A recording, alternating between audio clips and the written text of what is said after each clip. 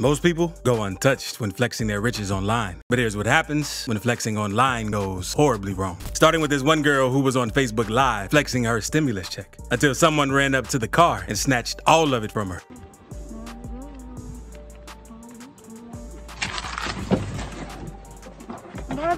And that's why you gotta be careful when flexing, especially inside of a car without tent, because you never know who's watching you. And this next man had to learn this the hard way as well, because he was vibing in the car, flexing his money, and dancing to some music on live.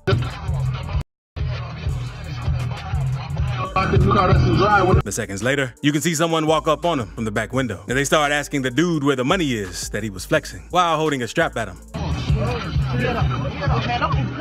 Man, I that. I that to you. I